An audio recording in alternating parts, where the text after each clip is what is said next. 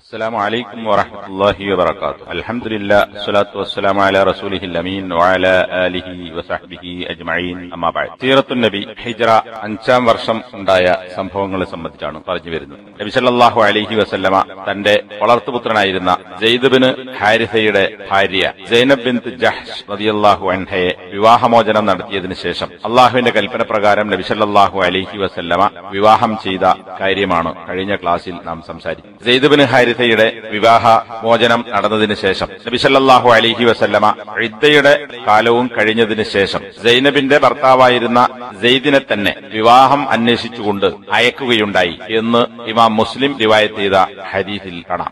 മുസ്ലിമിന്റെ ആയിരത്തി നാനൂറ്റി ഇരുപത്തി എട്ടാം നമ്പർ ഹദീസിൽ ഇങ്ങനെ പറയുന്നു. ലമ്മൻ ഖലത്ത് ഇദ്ദത്തു സൈനബ് റളിയല്ലാഹു അൻഹ അലൈഹി വസല്ലം ഇദ്ദ അവസാനിച്ചപ്പോൾ നബി സല്ലല്ലാഹു അലൈഹി വസല്ലമ സെയ്ദ് ബിൻ ഹാരിസ റളിയല്ലാഹു അൻഹുവിനോട് പറഞ്ഞു നീ അവളുടെ അടുക്കൽ പോവുക. എന്നിട്ട് അവളോട് എന്നെ കുറിച്ച് പറയുക. അതായത് നബി സല്ലല്ലാഹു അലൈഹി വസല്ലമ സൈനബയെ വിവാഹം അന്വേഷിക്കുന്നു അല്ലെങ്കിൽ പറയുന്നു എന്ന കാര്യം നീ അവളോട് പറയണം. തുടർന്ന് സെയ്ദ് റളിയല്ലാഹു അൻഹു സൈനബ് റളിയല്ലാഹു അൻഹയുടെ അടുക്കൽ ചെല്ലുകയും അതായത് വിവാഹമോചിതയാണ്. സെയ്ദ് റളിയല്ലാഹു അൻഹു ആണ് വിവാഹമോചനം നടത്തിയത്. ഇദ്ദ അവസാനിച്ചു. ആ ഘട്ടത്തിലാണ് നബിയുടെ കൽപ്പന പ്രകാരം അൻഹു സൈനബ് ചെന്നപ്പോൾ സൈനബ് റളിയല്ലാഹു അൻഹു ഭക്ഷണത്തിന് വേണ്ട മാവ് തയ്യാറാക്കിക്കൊണ്ടിരിക്കുകയായിരുന്നു. അദ്ദേഹം പറയുകയാണ് സൈനബയെ ഞാൻ കണ്ടപ്പോൾ തന്നെ എന്റെ ഹൃദയത്തിൽ എനിക്ക് വലിയൊരു കാര്യമായി തോന്നി. എന്ന് പറഞ്ഞാൽ അതിനെ പണ്ഡിതന്മാർ വിശദീകരിച്ചിട്ടുള്ളത് ഹദീസിൽ തന്നെ കാണാം ഹത്താമ അസ്തത്യു അൻ അന്തുറ അന്ന റസൂലുള്ളാഹി സ്വല്ലല്ലാഹു അലൈഹി വസല്ലമ ദക്കറഹ. നബി സല്ലാഹു അലൈഹി വസല്ലമ സൈനബയെ കുറിച്ച് പറഞ്ഞ സ്ഥിതിക്ക് സൈനബയിലേക്ക് നോക്കാൻ പോലും എനിക്ക് സാധിച്ചില്ല. ഞാൻ എന്റെ മുതുക് അവളുടെ നേരെ ആക്കി നിന്നു. അതായത് മുഖത്തോട് മുഖം നോക്കാതെ പുറംതിരിഞ്ഞു നിന്നു എന്നർത്ഥം. അങ്ങനെ നിന്നത് എന്തിനാണ് എന്നും പണ്ഡിതന്മാർ ഈ ഹദീസിന്റെ അടിസ്ഥാനത്തിൽ തന്നെ പറഞ്ഞിട്ടുണ്ട്. സൈനബ് ഇതുവരെ എന്റെ ഭാര്യയായിരുന്നു. ഞാൻ തലാക്ക് ചെല്ലുന്നത് വരെ. എന്നാൽ ഇപ്പോൾ എന്റെ ഭാര്യയല്ല. നബിസല്ലാഹു അലൈഹി വസല്ലമ അവളെ വിവാഹം കഴിക്കാൻ ഉദ്ദേശിക്കുന്നു. നേരത്തെ എന്റെ ഭാര്യയായിരുന്ന സ്ത്രീ നബിസല്ലാഹു അലൈഹി വസല്ലമയുടെ ഭാര്യയാകാൻ പോകുന്നു. അതുകൊണ്ട് ഞാൻ ഇതുവരെ ഉള്ള അവസ്ഥയിലല്ല സൈനവുമായി. അതുകൊണ്ട് തന്നെ എനിക്ക് അവളെ നോക്കാൻ പറ്റില്ല എന്ന ചിന്ത സെയ്ദ് അള്ളാഹു അൻഹുവിന്റെ മനസ്സിലുണ്ടായതുകൊണ്ടാണ് നബിസല്ലാഹു അലൈഹി വസല്ലമ തന്നെ പറഞ്ഞ കാര്യം പറയാൻ വേണ്ടി മുഖാമുഖം നിൽക്കാതെ തിരിഞ്ഞു നിന്നത് എന്നാണ് ഈ ഹദീസിൽ നിന്ന് മനസ്സിലാക്കാൻ സാധിക്കുന്നത്. തുടർന്ന് സെയ്ദ് അള്ളാഹു അൻഹു പറഞ്ഞു യാ സൈനബ് അബ്ശിരി. സൈനബെ നീ സന്തോഷിച്ചു കൊള്ളുക.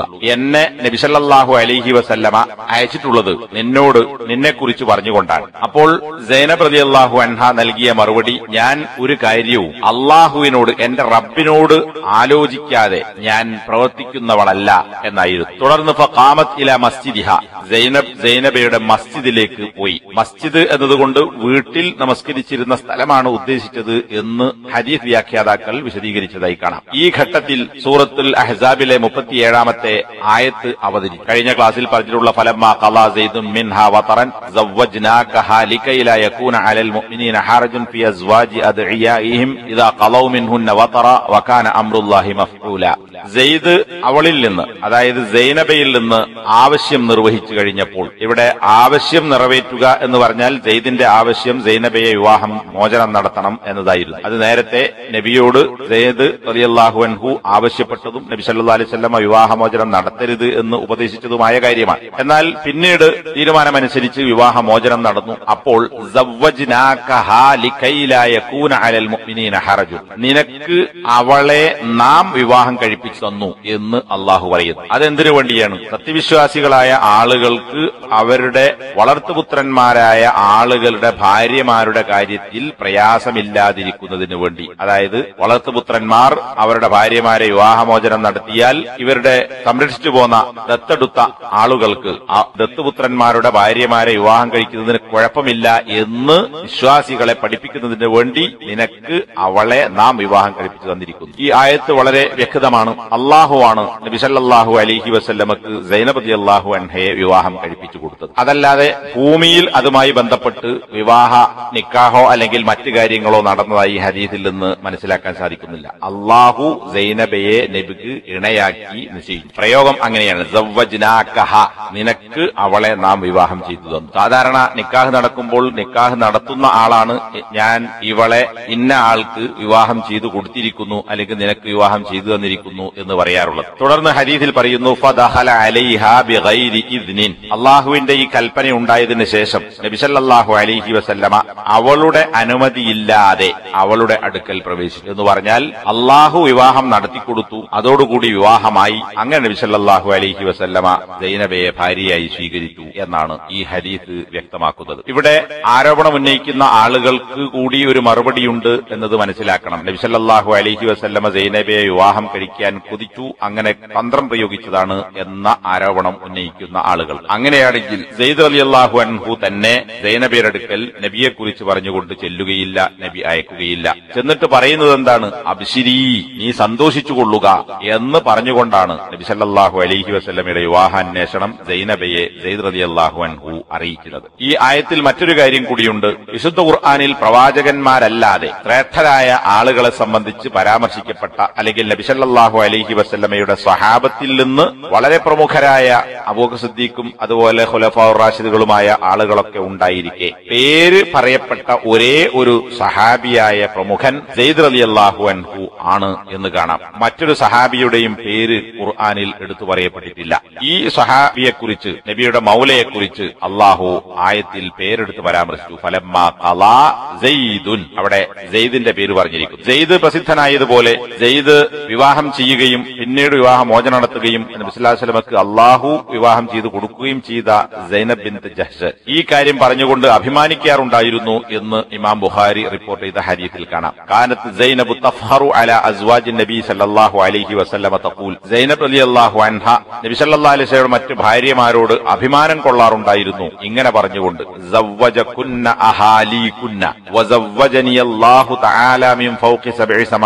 നിങ്ങളെയെല്ലാം വിവാഹം കഴിപ്പിച്ചു കൊടുത്തത് നിങ്ങളുടെ കുടുംബക്കാരാണ്. എന്നെ അള്ളാഹു ആണ് വിവാഹം കഴിപ്പിച്ചു കൊടുത്തത് ഏഴ് ആകാശങ്ങൾക്കപ്പുറത്ത് നിന്ന്. അപ്പോ ഭൂമിയിലുള്ള നബിയെയും സൈനബിയെയും വിവാഹം നടത്തിക്കൊടുത്തത് ഏഴ് ആകാശങ്ങൾക്കപ്പുറത്ത് വെച്ച് അള്ളാഹുവാണ് എന്നാൽ നിങ്ങളെ കല്യാണം കഴിപ്പിച്ചു കൊടുത്തത് നിങ്ങളുടെ വലിയുകളാണ് എന്ന് സൈനബലി അള്ളാഹു അൻഹ മറ്റുള്ളവരോട് അഭിമാനത്തോടെ പറയുമായി. അപ്പോൾ ഇത് രണ്ടും കഴിഞ്ഞ ക്ലാസ്സിൽ നാം മനസ്സിലാക്കിയതുപോലെ അള്ളാഹുവിന്റെ തീരുമാനമനുസരിച്ച് ഒരു വിവാഹം നടക്കുന്നു. അള്ളാഹുവിന്റെ തീരുമാനമനുസരിച്ച് വിവാഹ മോചനം നടക്കുന്നു. പിന്നീട് നബിസല്ലാഹു അലൈഹി വസ്ലമ സൈനബയെ നബിക്ക് അള്ളാഹു വിവാഹം കഴിപ്പിച്ചു കൊടുക്കുന്നു. ഇവിടെ അള്ളാഹുവിൽ വിശ്വസിക്കുന്ന വഴി അംഗീകരിക്കുന്ന ആളുകൾക്ക് എങ്ങനെയാണ് വിമർശിക്കാൻ സാധിക്കുക? നബിസല്ലാഹു അലൈഹി വസല്ലമ തന്ത്രം പ്രയോഗിച്ച് സൈനബയെ കയ്യിലാക്കി എന്ന് എങ്ങനെ പറയാൻ കഴിയും? എന്നതാണ്. നബിസല്ലാഹു അലിഹി വസ്ലമയുടെ ഈ വിവാഹത്തിലുണ്ടായ വലീമയെ സംബന്ധിച്ചും ഹരീഫുകളിൽ നമുക്ക് കാണാം. ഇമാം മുസ്ലിം റിവായത്ത് ചെയ്തിട്ടുള്ള ഹരീഫിൽ അത്താമഹും ഹുബ്സൻ വലഹ്മൻ ഹത്താ തറക്കു. നബി സല്ലല്ലാഹു അലൈഹി വസല്ലമ ആളുകൾക്ക് വലീമയായി ആടിനെയും അതുപോലെ തന്നെ റൊട്ടിയും നൽകി. ഇമാം ബുഹാരിയുടെ മറ്റൊരു ഹരീഫിൽ മാ ഔലമൻ നബിയു സല്ലാഹു അലിഹി വസ്ലമ അലാ ഷൈഇൻ മിൻ നിസാഇഹി മാ ഔലമ അലാ സൈനബ്. സൈനബ് അള്ളാഹു അൻഹക്ക് നൽകിയ വലീമത്തിനേക്കാൾ വലിയ ഒരു വലീമ മറ്റൊരു ഭാര്യമാരെയും വിവാഹം കഴിച്ചപ്പോൾ നബി നൽകിയിട്ടുണ്ടായിരുന്നില്ല. അപ്പോൾ പ്രവാചകൻ ഏറ്റവും വലിയ വലീമ നടത്തിയത് ജൈനബ് അലി അള്ളാഹു അൻഹയുടെ വിവാഹത്തിനാണ്. ആ ഹരീതിൽ പറയുന്നത് ഔലമ ബിഷാത്തിൻ ഒരു ആടിനെ അറുത്തുകൊണ്ട് നബി അലഹി വസല്ലമ വലീമ നടത്തി. മുസ്ലിമിന്റെ ഹരീതിലുള്ളത് അതോടൊപ്പം ഹുബ്സും ഉണ്ടായിരുന്നു എന്നതാണ്. അപ്പോൾ ആടിന്റെ മാംസവും ഹുബ്സും ചേർന്ന വലീമയാണ് നബി അലഹി വസല്ലമ നൽകിയത്. ഇതിനു പുറമെ ഹൈസ് എന്ന ഒരു ഭക്ഷണ പദാർത്ഥം കൂടി ഉണ്ടായിരുന്നു എന്ന് ഇമാം മുസ്ലിമിന്റെ തന്നെ ഹരീഫിൽ വന്നിട്ടുണ്ട്. ഹൈസ് എന്ന് പറയുന്നത് കാരക്കയും പാൽക്കട്ടിയും നെയ്യും ചേർത്ത് ഉണ്ടാക്കുന്ന ഒരു വസ്തുവാണ് ഒരു ആഹാര പദാർത്ഥമാണ് ഈ മൂന്ന് സാധനങ്ങളാണ് നബിസല്ലാഹു അലഹി വസല്ലമ വലീമയായി നൽകിയത്. അപ്പൊ നബിസല്ലാഹു വസ്ലമയുടെ ഏറ്റവും വലിയ വലീമത്തിന് ഒരാടിനെ അറുത്തുള്ള ഭക്ഷണമാണ് നൽകിയത് എന്ന് കാണുമ്പോൾ ഇന്ന് ആളുകൾ വിവാഹത്തിന്റെ പേരിൽ നടത്തിക്കൊണ്ടിരിക്കുന്ന വലീമകൾ അല്ലെങ്കിൽ കല്യാണ പാർട്ടികൾ എവിടെ നിൽക്കുന്നു എന്നത് നാം മനസ്സിലാക്കണം. നബിയുടെ ഏറ്റവും വലിയ വലിയമയായിരുന്നു ഇത്. അതിൽ അറുത്തത് ഒരു ആടും ഈ പറഞ്ഞ സാധനങ്ങളുമാണ്. ഇനി അതിൽ ആരാണ് ക്ഷണിക്കാൻ ചെന്നത്? അതും അനസദി അള്ളാഹു അൻഹു റിപ്പോർട്ട് ചെയ്യുന്നു. ഇമാം ബുഖാരിയുടെ നാലായിരത്തി എഴുന്നൂറ്റി തൊണ്ണൂറ്റി മൂന്നാം നമ്പർ ഹദീദിൽ നബിസല്ലാഹു അലിഹി വസല്ലമ സൈനബ് റതി അള്ളാഹു അൻഹയുമായി വിവാഹബന്ധം ആരംഭിച്ചു. വലിയമയായി നൽകിയത് നേരത്തെ പറഞ്ഞതുപോലെ ലുഹുബ്സിൻ വലഹ്മിൻ മാംസവും റൊട്ടിയുമായിരുന്നു ഹുബ്സുമായിരുന്നു ജനങ്ങൾ ജനങ്ങളെ ക്ഷണിക്കാനായി ഞാൻ നിയോഗിക്കപ്പെട്ടു. നബി സല്ലല്ലാഹു അലൈഹി വസല്ലമ അനസ് ബിൻ മാലിക് റളിയല്ലാഹു അൻഹു നിയോഗിച്ചു. വിവാഹ സൽക്കാരത്തിലേക്ക് ആളുകളെ ക്ഷണിക്കാൻ. അങ്ങനെ ഞാൻ പോയി ക്ഷണിച്ചതനുസരിച്ച് ഒരു സംഘം ആളുകൾ വരും അവർ ഭക്ഷണം കഴിക്കും പിന്നെ അവർ പോകും പിന്നെ ഒരു സംഘം ആളുകൾ വരും അവർ ഭക്ഷണം കഴിക്കും പിന്നെ അവർ പോകും. അങ്ങനെ ഞാൻ ക്ഷണിച്ച് ക്ഷണിച്ച് ആരെയും ക്ഷണിക്കാൻ കാണാതെയായി. ഒരാളെയും കിട്ടിയില്ല. കണ്ടവരെയൊക്കെ ഞാൻ ക്ഷണിച്ചു. അങ്ങനെയാണ് നബി അനസദി അള്ളാഹു അൻഹുവിനെ അയച്ചത്. പേരെടുത്ത് പറഞ്ഞു മറ്റു ചിലരെ കാണുന്നവരെയൊക്കെ വിളിക്കാനും പറഞ്ഞു. അവസാനം നബി സല്ലല്ലാഹു അലൈഹി ആരുമില്ലാത്തപ്പോൾ പറഞ്ഞു ഇർഫഊ ത്വആമക്കും നിങ്ങൾ നിങ്ങളുടെ ഭക്ഷണം എടുക്കുക. എന്നാൽ എനിക്ക് ഭക്ഷണം കഴിക്കാൻ ആളില്ല. ഭക്ഷണം എടുത്തു കൊണ്ടുപോകാൻ വേണ്ടി നബി അലൈഹി സ്വലം നിർദ്ദേശിച്ചു. എത്ര പേരാണ് ഇതിൽ പങ്കെടുത്തത് എന്നും മുസ്ലിം റിവായത്ത് ചെയ്ത ഹരീതിൽ കാണാൻ സാധിക്കും. നേരത്തെ സൂചിപ്പിച്ച ഹൈസ് കൂടി ഈ ഭക്ഷണത്തിൽ വിഭവമായി നൽകപ്പെട്ടു എന്ന് പറയുന്ന ഹരീതിൽ ഈ കാര്യം വ്യക്തമാക്കിയിട്ടുണ്ട്. ഇനി ഈ ഹൈസ് നബി സല്ലല്ലാഹു അലൈഹി വസല്ലമ ഉണ്ടാക്കിയതല്ല. മറിച്ച് അനസബിന് മാലിക് റളിയല്ലാഹു അൻഹുവിന്റെ ഉമ്മയായ ഉമ്മു സുലൈം റളിയല്ലാഹു അൻഹ ഹൈസ് ഉണ്ടാക്കുകയും അത് വലീമയിൽ വിതരണം ചെയ്യാൻ വേണ്ടി നബി സല്ലല്ലാഹു അലൈഹി വസല്ലമയുടെ വീട്ടിലേക്ക് അനസുബിന് മാലിക് റളിയല്ലാഹു അൻഹുവിന്റെ കയ്യിൽ കൊടുത്തയക്കുകയുമാണ് ചെയ്തിട്ടുള്ളത്. അനസിനോട് ഉമ്മ പറഞ്ഞു ഇദ്ഹബ് ബിഹാദ ഇല റസൂലുള്ളാഹി സ്വല്ലല്ലാഹി അലൈഹി വസല്ലം. നീ ഇതുമായി നബിയുടെ അടുക്കലേക്ക് പോവുക. എന്ന് നബിയോട് പറയുക ഇത് എന്റെ ഉമ്മ നിങ്ങൾക്ക് കൊടുത്തയച്ച ഭക്ഷണ പദാർത്ഥമാണ് ഉമ്മ നിങ്ങളോട് സലാം പറഞ്ഞിട്ടുണ്ട് ഇത് അല്പമേ ഉള്ളൂ എന്നും എന്റെ ഉമ്മ പറഞ്ഞിരിക്കുന്നു എന്ന് പറയണം. അതായത് കൊടുത്തയച്ചത് ഒരുപാട് ആളുകൾക്ക് തിന്നാനില്ല. അങ്ങനെ ഞാൻ അതുമായി പോയി. എന്നിട്ട് എന്റെ ഉമ്മ പറഞ്ഞതുപോലെ നബിയോട് ഉമ്മയുടെ സലാം പറഞ്ഞു ഇത് അള്ളാഹുവിന്റെ ദൂതരെ നിങ്ങൾക്കുള്ള അല്പം ചില വസ്തുവാണ് എന്ന കാര്യം ഞാൻ നബിയോട് പറഞ്ഞു. അപ്പോൾ നബി സല്ലല്ലാഹു അലൈഹി വസല്ലമ അത് ഭക്ഷണത്തിനായി കഴിക്കാനായി വെക്കാൻ വേണ്ടി അനസിനോട് നബി സല്ലല്ലാഹു അലൈഹി വസല്ലമ ആവശ്യപ്പെട്ടു. എന്നിട്ട് ആളുകളെ വിളിച്ചു കൊണ്ടുവരാൻ വേണ്ടി പറഞ്ഞു. ചില ആളുകളെ ഫുലാനൻ വ ഫുലാനൻ ഫുലാനൻ ഒമൻ ലഖീത്ത ഇന്ന ആളുകളെ വിളിക്കണം എന്ന് പേര് പറഞ്ഞു നിർദ്ദേശിച്ചു. പിന്നെ നീ കണ്ടുമുട്ടുന്ന ആളുകളെയും. അങ്ങനെ അവരെയൊക്കെ ഞാൻ വിളിച്ചു കൊണ്ടുവന്നു. സുഹാ.